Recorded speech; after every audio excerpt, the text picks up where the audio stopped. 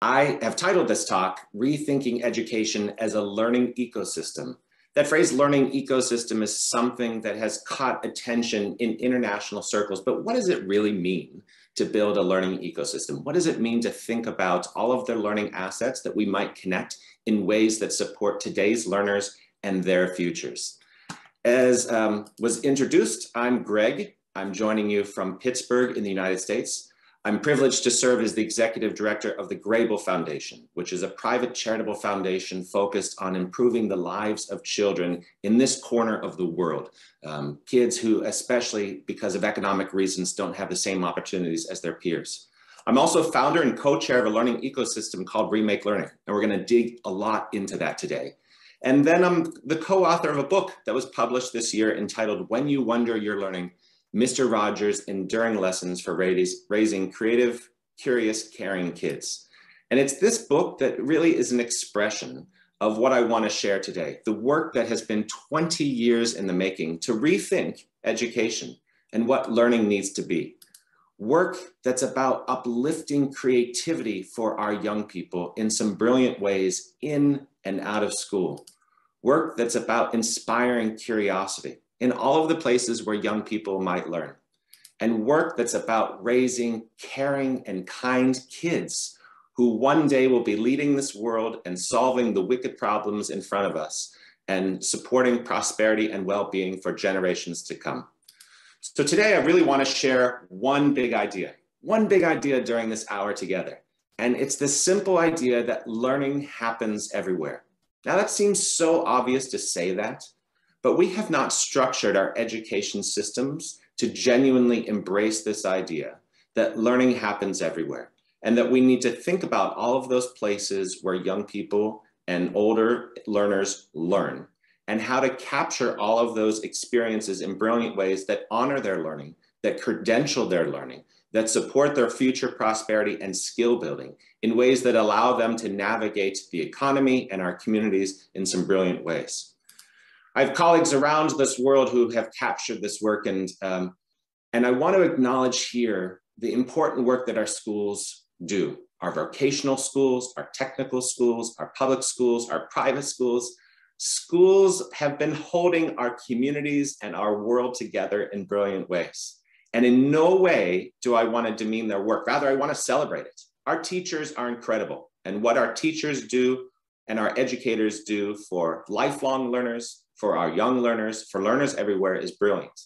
And it's also true that we are learning so much from the learning sciences themselves about the ways that young people are developing their identities, the ways that young people are seeking and pursuing information, the ways that young people are producing things in their lives.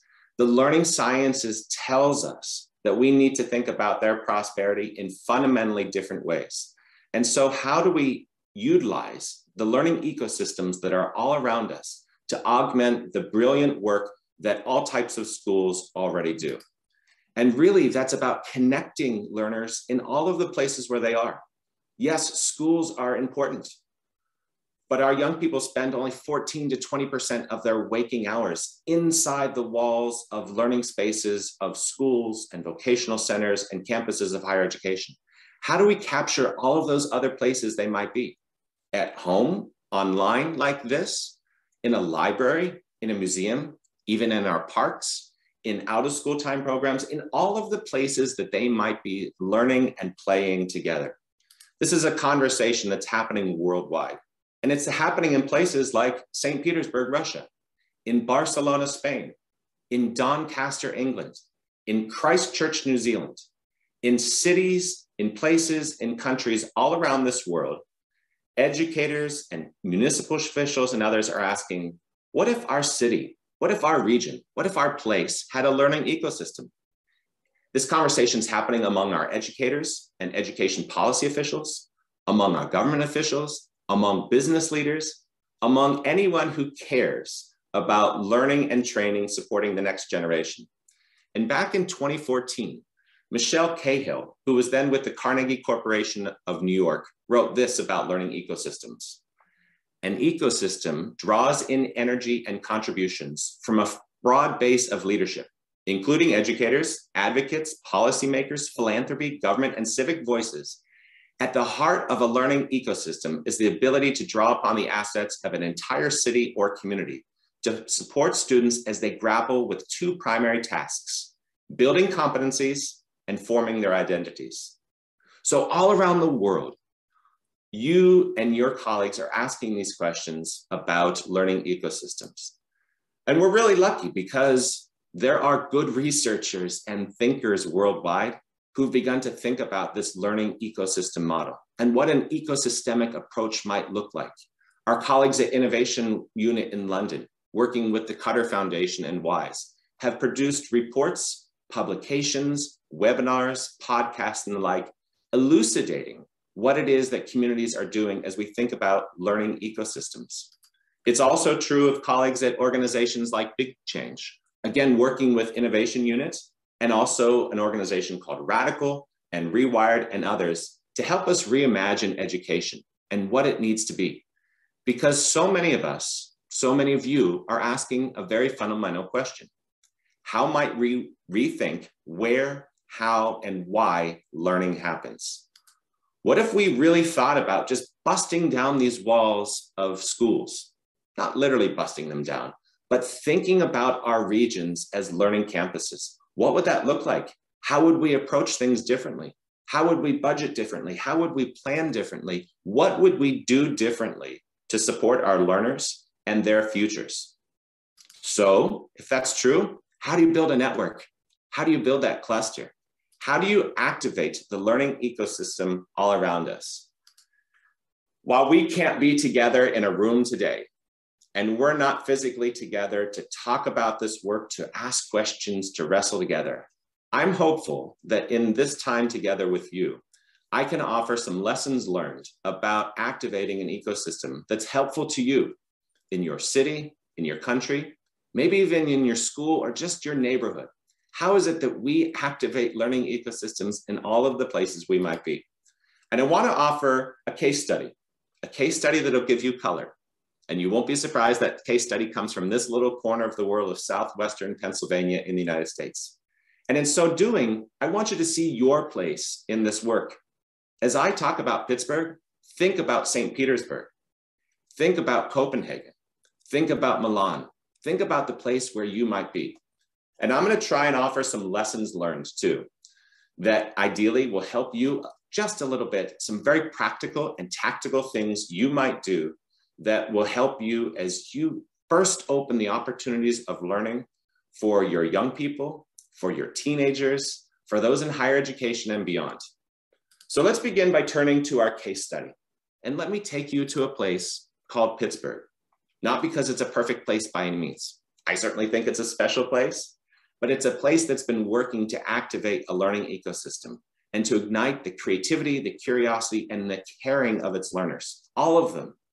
Because for 15 years in Southwestern Pennsylvania, we have some experience trying this.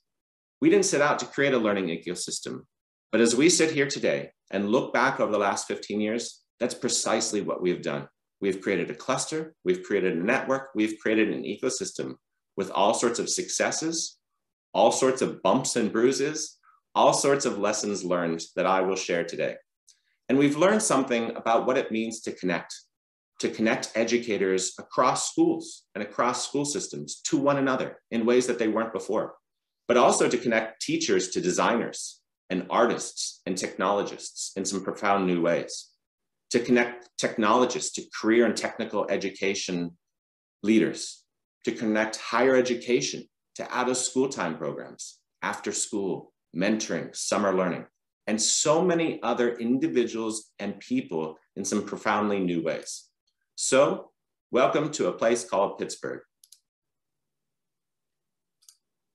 This is where it starts, where learning starts. Creativity, complexity, talent. This is where innovation starts. It starts right here in our libraries, our museums, our communities, in our schools. This is where the future starts. Whenever we learn something about ourselves, about our community, about our world, the future begins again. And every day, educators around the world are taking risks, reaching higher, pushing the limits of learning.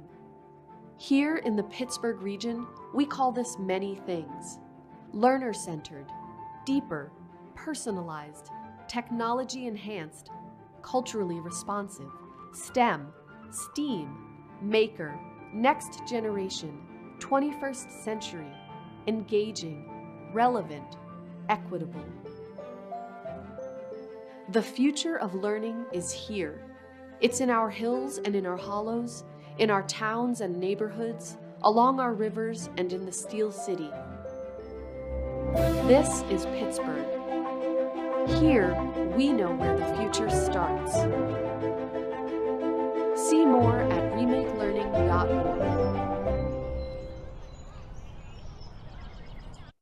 And the future of learning is in your city. It's in your state, it's in your country. And what we each need to do is unleash these assets that are all around us in ways that support our learners. So let's dive into this learning ecosystem that we call Remake Learning as an example for what you might do in the place for which you're responsible. And when we talk about Remake Learning, we talk about a Remake Learning as a network, a network that unites engaging, relevant, and equitable learning practices for our young people whom we know are navigating these times of rapid technological and social change. So in our corner of the world, Remake Learning is a professional network of educators. And I use that, that word educators in a broad sense to capture educators who are in our schools and school buildings, but also in our out of school time organizations, in our early learning centers, in higher education, all of whom are working together to reimagine learning. It's a network that involves thousands of people from more than 600 organizations in this tiny little place called Pittsburgh. What types of organizations do they represent? Schools, yes, schools, absolutely, but also museums and libraries and early learning centers and after school programs, creative industries and companies and businesses, and certainly our college campuses. They're all working together to create more engaging, more relevant, more equitable learning opportunities for our young people. And those seem like simple, such simple words. So, what do we mean when we refer to these words? Well, when learning is engaging, we know that learners have the time, the resources, the support, the encouragement to become active problem solvers, creatives, creators, and innovators. And I'll give you some real examples. When learning is relevant for our young people and learners of all ages, it resonates with their own interests, with their context, and their abilities and experiences, while also allowing for room for all sorts of growth and exposure. It prepares learners for our futures, in which interdisciplinary skills like critical thinking and collaboration are increasingly salient. And when learning is equitable, more supports and more opportunities are afforded to those of greatest need.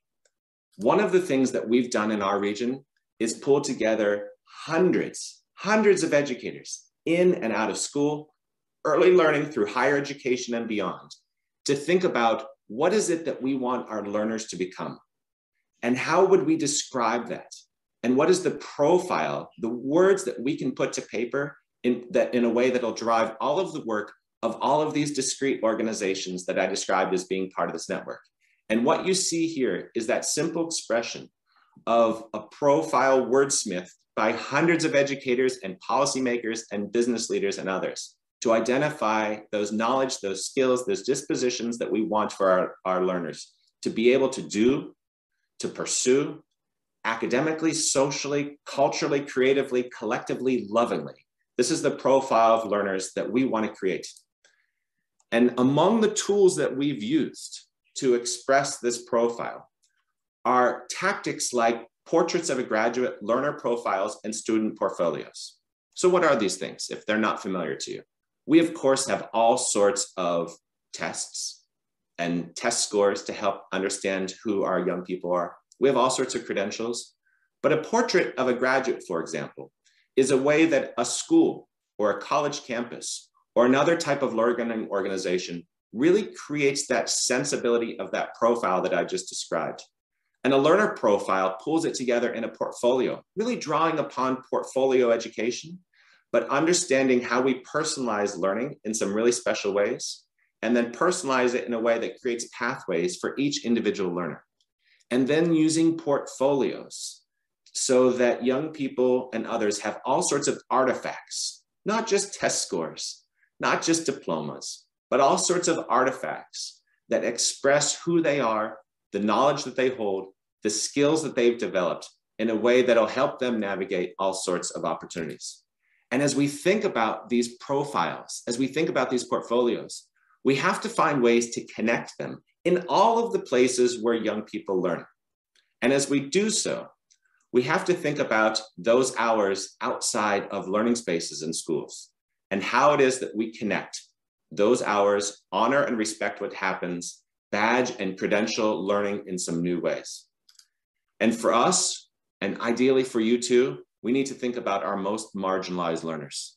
Learners who are living in difficult economic conditions, learners who are marginalized in some um, ways, particular to their communities, learners in our rural areas that find themselves far, far away from the metro areas that have the assets of museums and libraries and maybe only have a school building or a special community center. We need to think about our girls and our girls, particularly in the sciences and math. And we need to think about our learners with disabilities. And so, how do we afford more opportunities and more experiences to those most marginalized in the communities in which we live? This is what a network looks like. It's complicated, it's messy, it's not a hierarchy. It's a lot easier to say this happens and this happens, and you report here and you report here. In a network, a community comes together, and all sorts of people and projects and organizations work together to create new opportunities for our young people.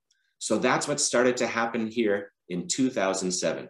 And it started simply enough by creating time and space so that individuals representing higher education, our NGO and civil society organizations, our schools, of course, those in the private sector or in the public sector who are funders of education and education related work, certainly our business leaders, especially in the creative industries, looking to our museums and libraries, other, other cultural assets, and of course, our government officials, bringing to them together, creating time and space for new conversations in an interdisciplinary way. This is work that exploded over a few years. And to this group of individuals and organizations that came together, we began to think about these modern frameworks, these modern approaches, these modern pedagogies that express the type of learning that we want for our learners taking advantage of STEM, science, technology, engineering, and math, adding the A for arts and STEAM education, and thinking about interdisciplinary learning, but also thinking about youth media and linked learning and connected learning and maker learning and all sorts of words and phrases that describe the type of learning experiences and learning pathways that we want to create for our young people. So what did that look like 10 years ago? Let me give you a number of examples to give you color. Here's a school a school district that literally began to bust down the walls among what had been the industrial arts, the arts, and computer sciences and computational thinking, and began thinking about the interdisciplinary work that happens in these skill building spaces and the instruction that happens in these spaces, and how that singular experience of rethinking that education in that wing in that particular school led to all sorts of design changes in the physical spaces of the libraries and classrooms of the school building, but also its approach to professional development and learning, and the way that it budgeted and started to procure services, materials, devices to support a new approach to learning. And in this school district that I will describe as um, not a place you'd have imagined the future to take hold, not a well-resourced school, they began to see real changes. Things like dropout rates going to practically zero, practically zero because young people had a sense of agency. They wanted to be in the school, they wanted to learn, they felt connected in new and special ways. You saw climbing test scores and other things. And these are just traditional measures. We know that all sorts of other learning is happening in these spaces. And this school didn't accomplish this alone. They worked with universities like Carnegie Mellon University. They worked with companies like SMALLab and Modern Teacher. They've worked with museums like the Andy Warhol Museum and others they turn to their community to reimagine learning in that school space. In another school, in a singular kindergarten classroom, looking at our youngest learners, a kindergarten teacher finding a way to work with an artist who's also a specialist in robotics to think about how they could take advantage of toys and devices and things that were familiar to kids, things that they love, and to break them apart and create new opportunities for wonder and learning and expression in some new ways, connecting wooden blocks to circuitry in a kindergarten space with five and six year olds in some new and profound ways that just lit up that classroom. We saw it happening in all sorts of out of school time spaces.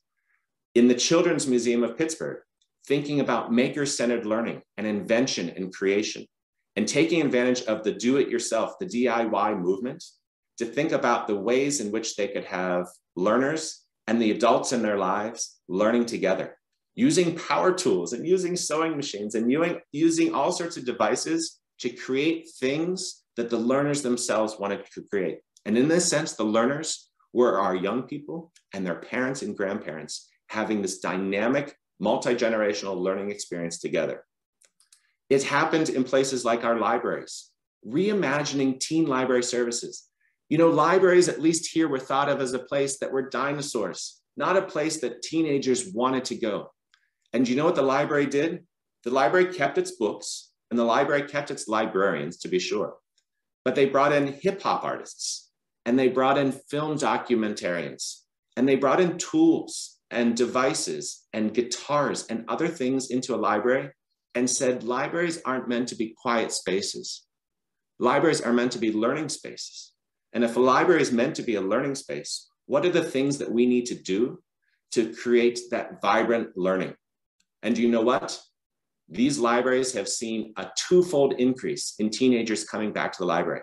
And they've seen a 20% increase in book circulation. And you know why? Because the kids wanted to be there and they had a sense of agency and they were lit up by their interest and supported by the caring adults around them. And when they did so, then they realized I have all of these assets, including books, that I can use in some new and profound ways to support my learning.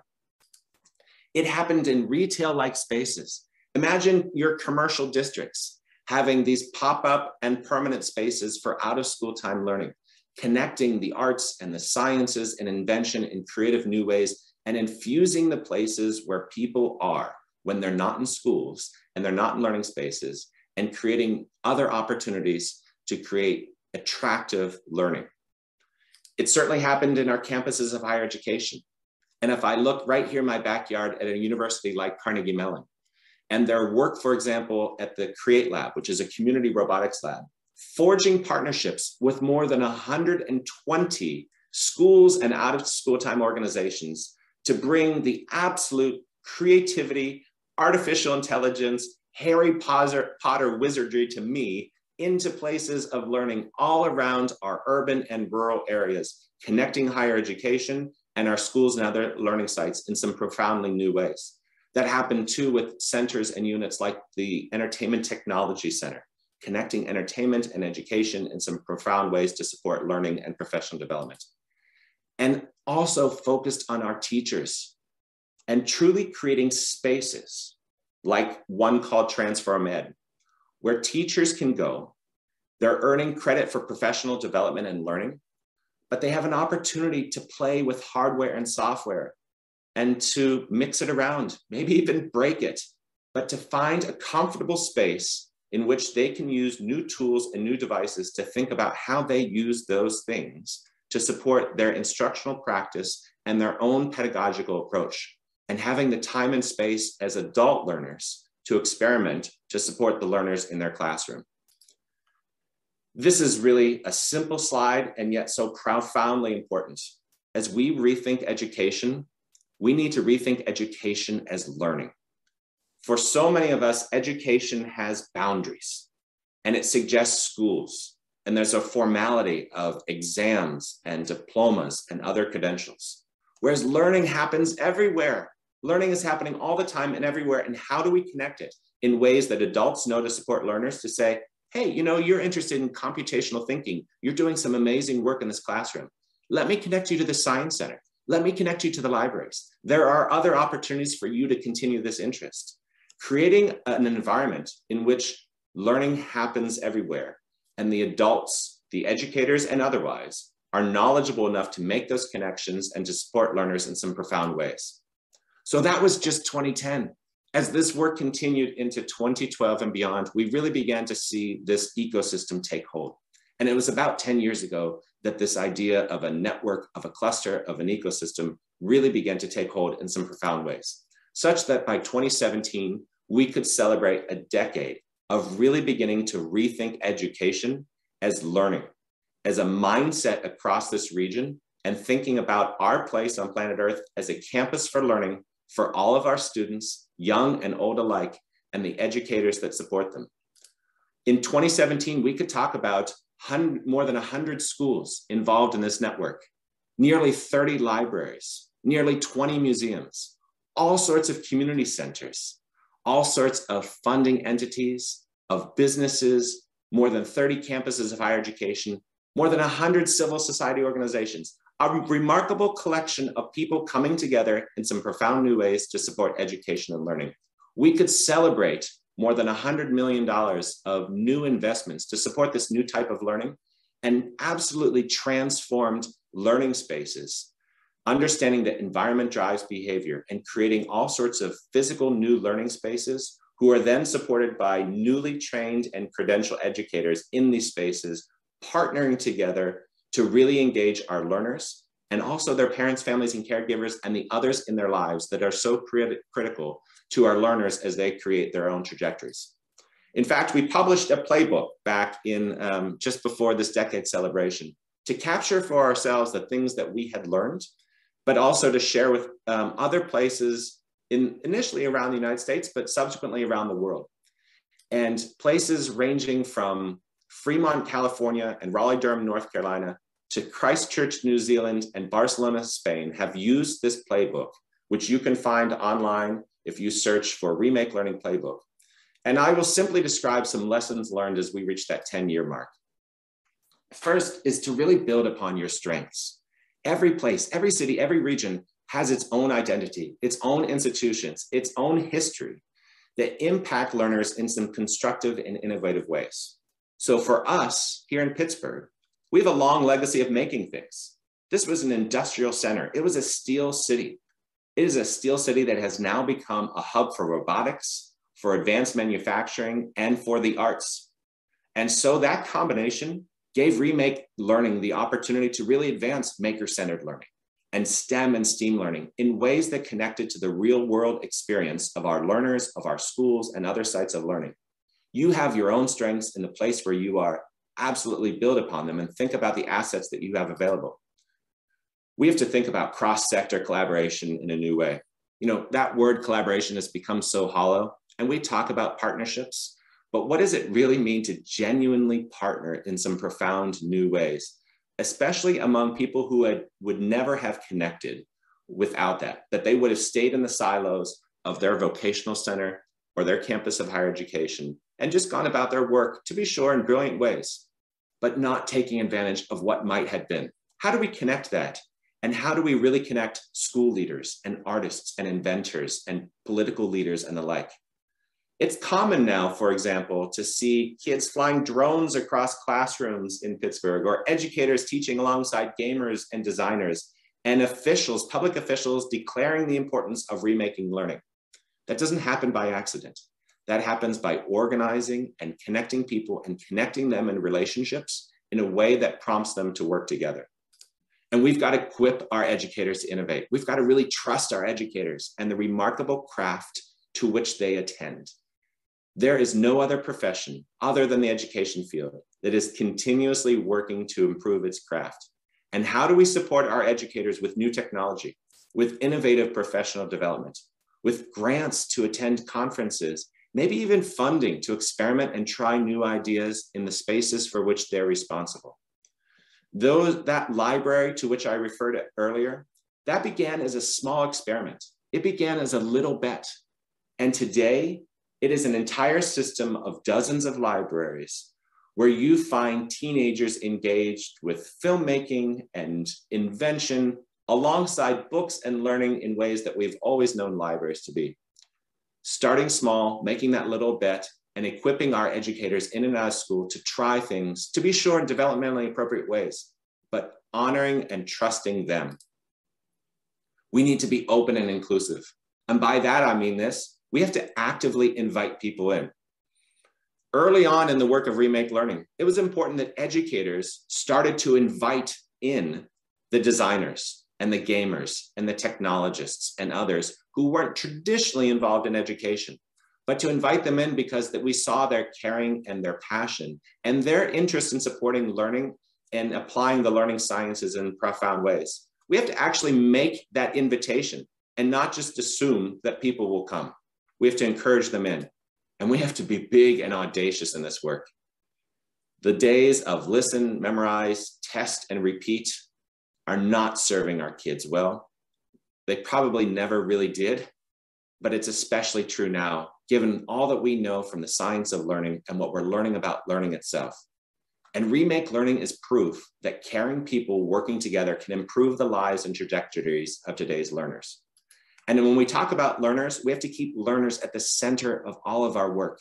But it's not just about our young learners, it's the older ones too. It's those teachers and the educators themselves and everyone who's working in the education space. We need to listen to them. We need to trust them. We need to love them. They deserve learning spaces that work together to nurture creativity, curiosity, and compassion. And we have to meet people where they are. People come to this work in different ways in different places. And we can't just now say, and now we shall all do this. Those grand um, pronouncements, they just never work. We have to meet people where they are, the passions and interests that they bring to the work, and not what it is that we want them to be. We need to invite them into this work. So as we reach 10 years, we could celebrate learning being remade here in this corner of the world called Pittsburgh.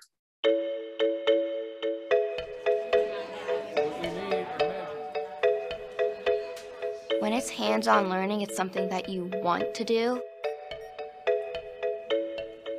How do we make Pittsburgh the very best place in the world for children?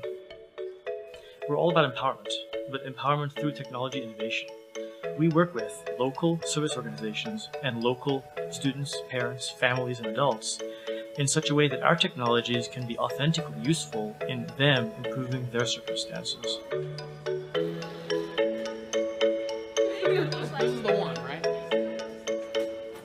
When I go back to school, I'll be able to apply what I've learned here into my classwork. And when I do that, I'll be more prepared looking for a job after I graduate.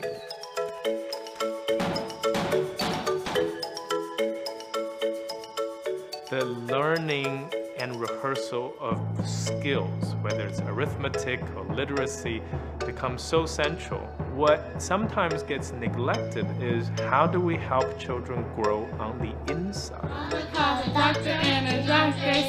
It's really about pivoting the conversation from education to learning and harnessing all of the assets in a community to contribute to that overall learning journey a young person takes.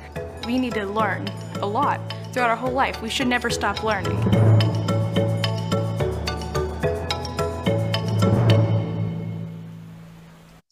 So as we sit here with you, looking to the future of 2022, 2023, and beyond, we have all sorts of questions.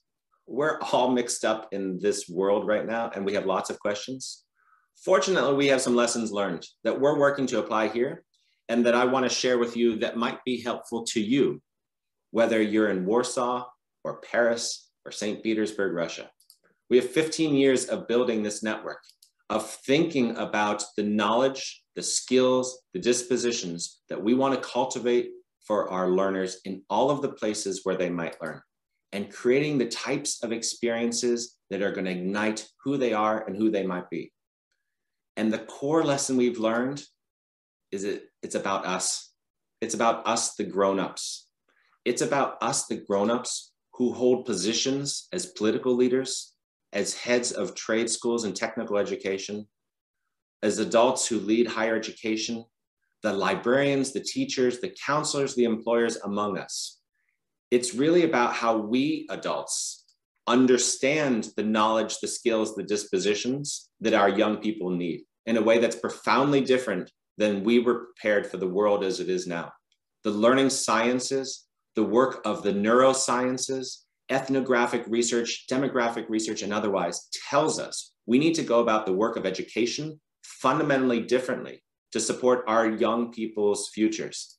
We have to understand what was and what worked, but also understand what it is that we need to do differently to support their readiness, their skill development, their prosperities in the futures.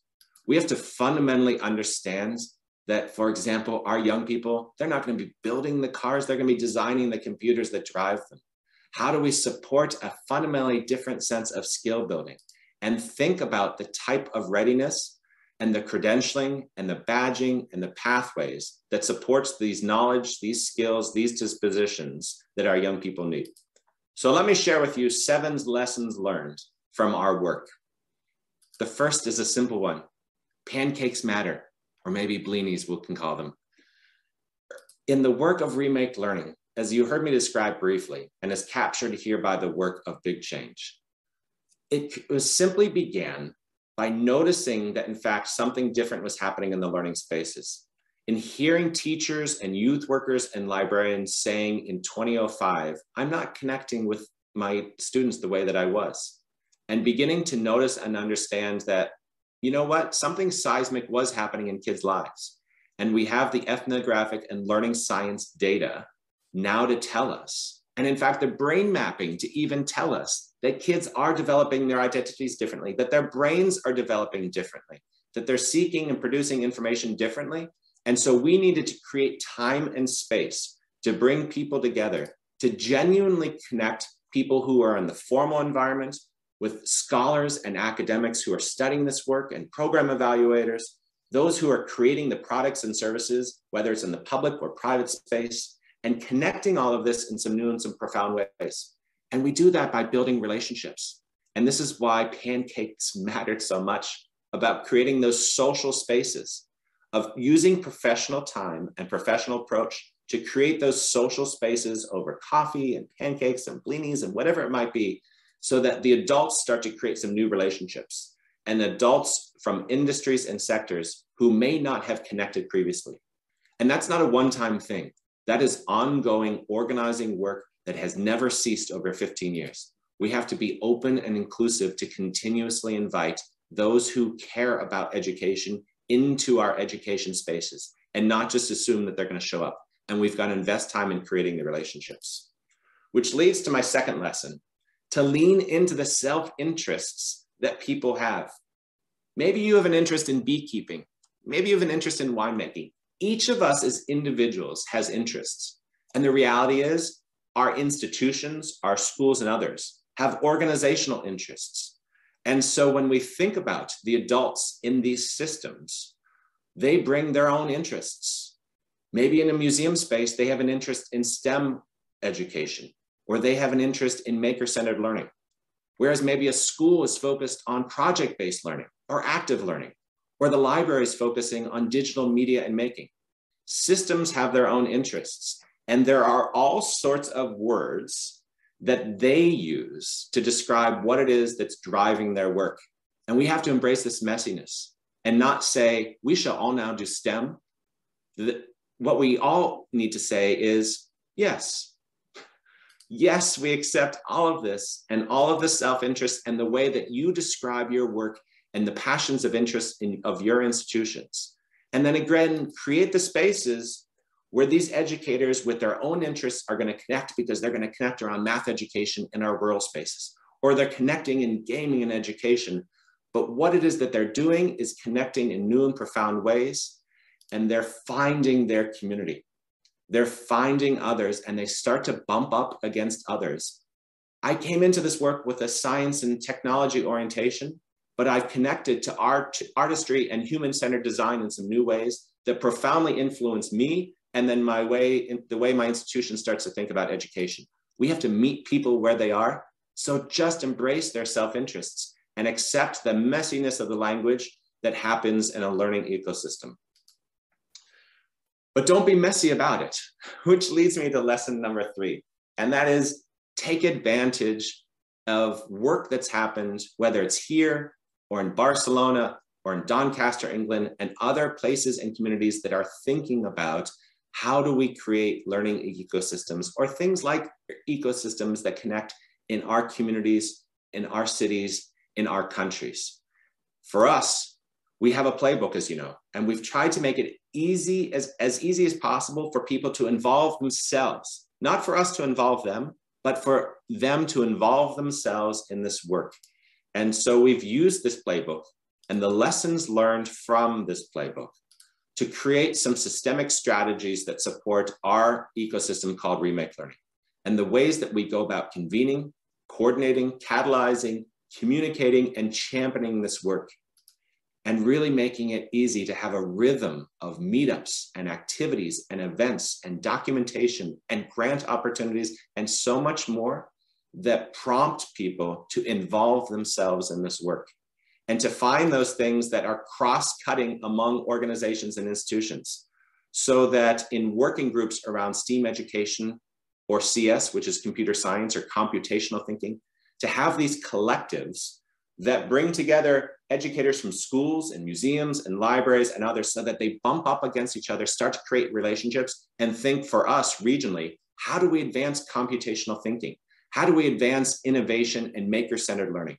How do we advance personalized, differentiated learning for today's learners in some profound new ways? We have to encourage that cross-sector collaboration that is so profoundly important. A fourth lesson, we need to elevate community wisdom and community leadership. You hold a leadership position. You're doing remarkable work. I don't want to discount that in any way. But there is leadership, there is wisdom all around us. There are learning ecosystems all around us and led by people who aren't identified as leaders. How do we think about marginalized people? People who maybe don't hold obvious leader positions, but are significant leaders in their community, who are profoundly influential and can make this work sticky. One of those groups are our young people themselves. As we think about the human-centered design and the experiences that our learners are having in the learning settings and what it is that they're doing, what's igniting them, what's creating barriers for them, there is no group better to turn than to the learners themselves. It could be the five-year-olds, it could be the 15-year-olds, it could be the 23-year-olds. They all are learners in this system.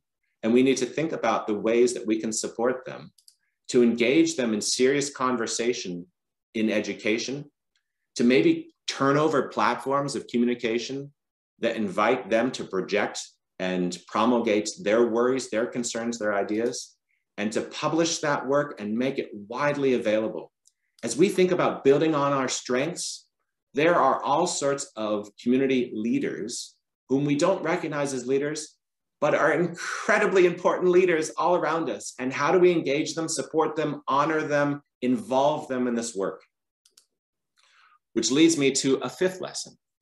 And that is as we elevate this community wisdom, and as we elevate and support our educators, how do we also take advantage of those who are deeply studying the learning sciences on our campuses of higher education and elsewhere? How do we involve those futurists, those train, uh, those folks trained in future studies and demographics and otherwise, to really help us understand where do we need to orient ourselves?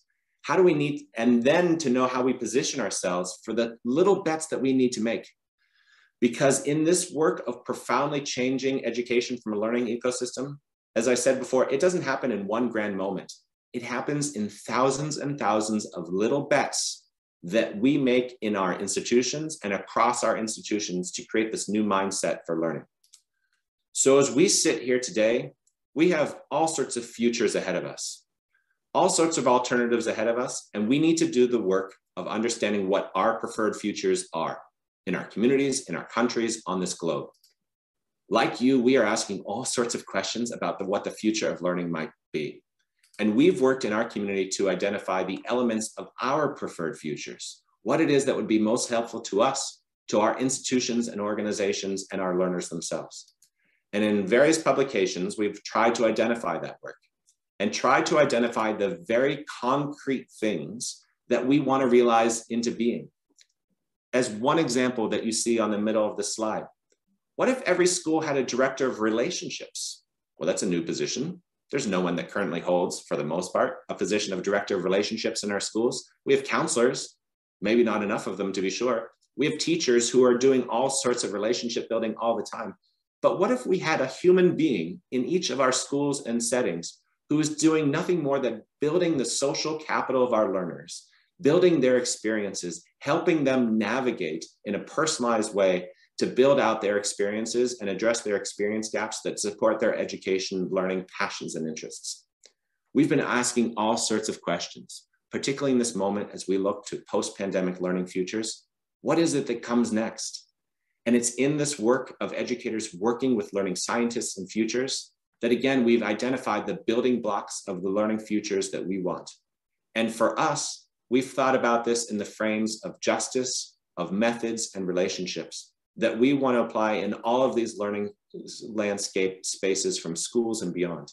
As we think about the types of long-term shifts that we want to realize, as we think about justice, and for example, the ways that we support family engagement through systemic approaches that support education and learning, or the ways that we uplift social emotional learning in some profoundly new and important ways that complement the academic learning that happens.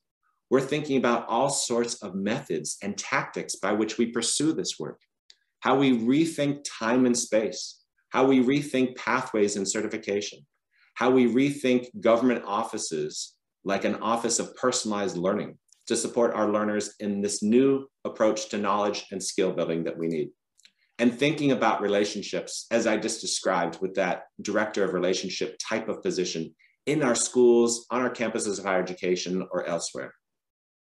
But it's not just the thinking that matters, it's the doing, and it's making those little bets. And we've brought together millions of dollars in this region to, to take, as we described, some moonshots, some bets on the future of learning that we want to realize, and asking ourselves some really important questions about how it is that we're catalyzing innovation, how we're supporting the greatest need possible, what it is that we're focusing on as we think about catalyzing this work and making the little bets that we need? These are the types of questions that you see before us that we're asking. And so we put out to these hundreds of organizations, colleges, museums, libraries, schools, what is your moonshot? What is your moonshot for bold, experimental, just learning, taking advantage of futuring in a way that we want to do things differently? As just one example, a school that you've probably never heard of called the Butler Area School District, just to the north of Pittsburgh, work together to bring farmers and folks in agriculture together with community members and teachers in a rural school to think about project-based learning in a way that has lit up that school and activated science and math learning because it's connected in a relevant and engaging way that's supportive of their community and supportive of passions and interests of the community and has involved the community in some brilliant think, rethinking of what learning looks like and what it feels like and what learners experience in that particular school building. It's places like Duquesne University, a campus of higher education, taking advantage of digital fabrication, of maker-centered learning, and applying it to math and math instruction to rethink math instruction in a way that connects with today's learners in ways that will support them. We need to make these little bets and provide the time, space, and the money to educators, schools, and other sites of learning to let them equip themselves to innovate in developmentally appropriate ways um, that are profoundly important to what's happening in our learning spaces. And as we think about supporting our learners, all of us need to seriously engage parents, families, and caregivers. All of this work is going to be faddish and fleeting unless we seriously build demand and understanding among our parents, families, and caregivers.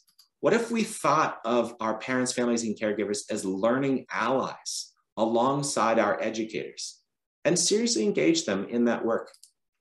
We're lucky because the Brookings Institution in Washington, D.C.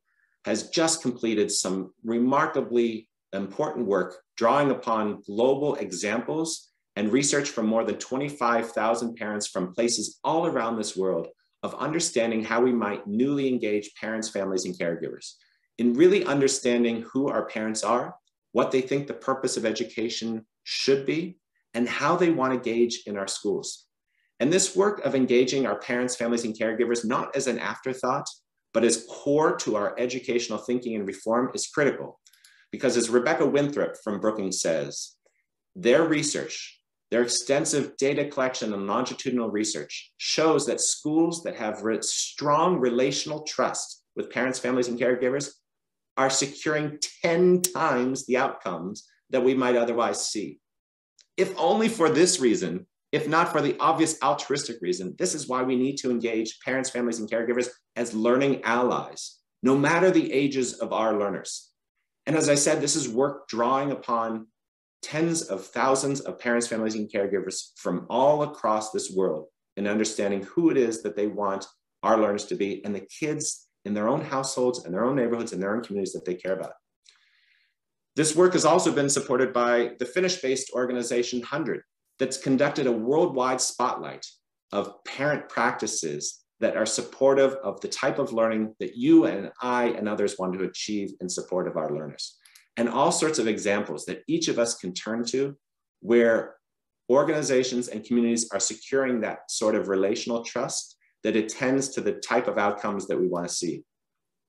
Here in Pittsburgh, we've pulled together these two organizations, Brookings and HundrED, along with the human-centered design folks at IDEO out of California and a local media platform called Pittsburgh to think about this work in a practical way, to take the evidence from Brookings, to take the examples from HundrED and apply it in places like the New Brighton Area School District, like the Fort Cherry School District, like the Butler Area School District. Schools you never heard of, but schools you can imagine in your own city in the actual places where actual learners are learning and how principals and educators are applying this worldwide, world-class work in some ways that are yielding new ideas to revolutionize parent, family, and caregiver engagement that supports the type of skill building that we want to achieve and nurture for our learners. And then opening that up to community conversation in a way that engages the broader community in thinking about how schools and communities can better partner with families to support this learning that we want to realize. It's something that has been so core to the work of Remake Learning, of engaging our parents, families, and caregivers in what modern learning is and what modern learning needs to be. Through Remake Learning Days, we've been able to engage hundreds of thousands of families, not only here, but now in 20 regions across the United States and also in cities around the world by supporting regional festivals that help parents understand how learning is being remade, why they should care about it, how they support learners in their care, and then how parents themselves become part of the demand of demanding these new approaches to learning in our schools, museums, libraries, and other sites of learning. The work of Remake Learning Days has been identified by HundrED as one of the top learning innovations across the world. And I encourage you to take a look at that work. Keep learners at the center of our work. And lastly, invest deeply in storytelling. We do this badly. All of us in the education field, headmasters, principals, teachers, policymakers, we do not do a good job of investing in storytelling. And we just assume we are storytellers. We don't appreciate the art and science of storytelling. It's been my biggest lesson in this work over these past two decades of building an ecosystem, of investing in the documentation, the videography, the photography that supports a shift in mindset in a region of what it is that we need to support, do to support our learners in some profoundly important ways in understanding the knowledge, skills, dispositions as we think about employment, as we think about reframing what happens in schools, you can take a look at this and download all of it in your um, work and by going to remakelearning.org and um, accessing all of the materials that we've made available and licensed under Creative Commons licensing. Tell your story. Who is it that's telling your story? It better be you, because if it's not you, and if you're not doing it well, other people are going to tell your story, frame the narrative in ways that aren't helpful to you. We need to think through what it is that we want to achieve and I want to uh, nearly close here by offering a very close case study. Because as this pandemic began to unfold worldwide, we made ourselves lucky. We made ourselves lucky in this region because late in 2019, we began to think about the continuous work that we needed to do at that point to engage schools, museums, libraries in the work of building our learning ecosystem, whether they had been involved for 13 years or 13 weeks, and had prepared ourselves um, to launch a regional community-wide will building campaign to support the knowledge, skills, dispositions approach that we want. This is the video that launched that campaign. You've probably been thinking about the future a lot lately.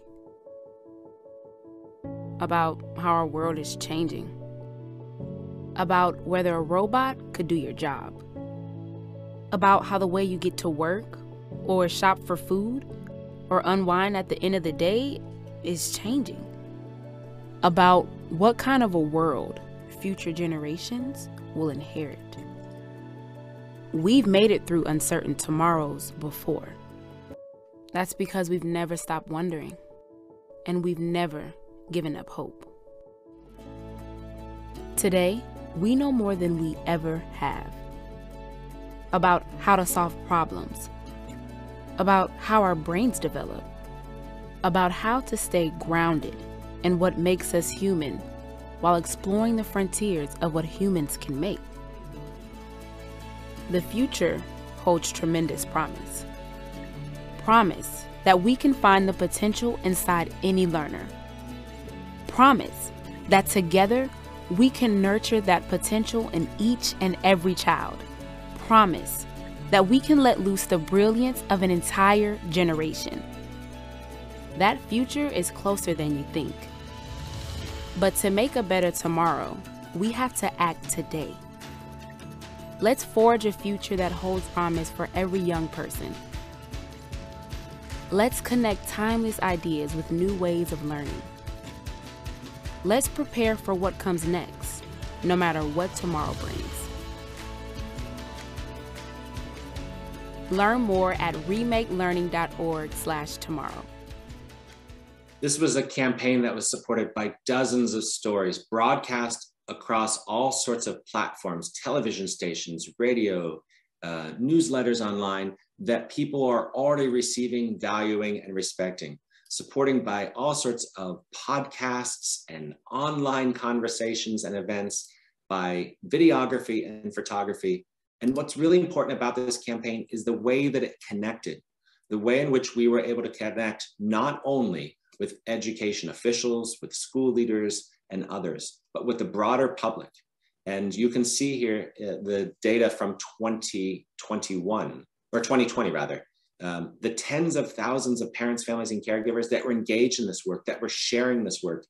This type of data demonstrates that we can connect in a way that shifts a mindset in a region among a population about what learning is and what learning needs to be. We're all wondering together, and we need to buy, be audacious as we think about what's ahead. What do you wonder when you wonder about tomorrow? Do you wonder what you'll do or where you'll go? Who you'll meet or who you'll become? Or do you wonder how you'll be seen or how you'll be cared for? About whether you'll be hungry or housed or safe? As parents and educators, as caregivers and neighbors, we know that what we wonder about matters. We know it's on us to build a tomorrow where each day holds promise for every child, where learning starts with the needs, the hopes, and the questions that young people bring, where every kid can explore what excites them, what challenges them, what moves them. A tomorrow where community and belonging, justice and joy go hand in hand and define what learning can be. Powered by Remake Learning, Tomorrow calls us to forge this future together, to take what we've learned from these difficult times and to build something better, to build places of learning that spark wonder for every child, to summon the imagination and the courage to leave normal behind, and shoot for the moon instead.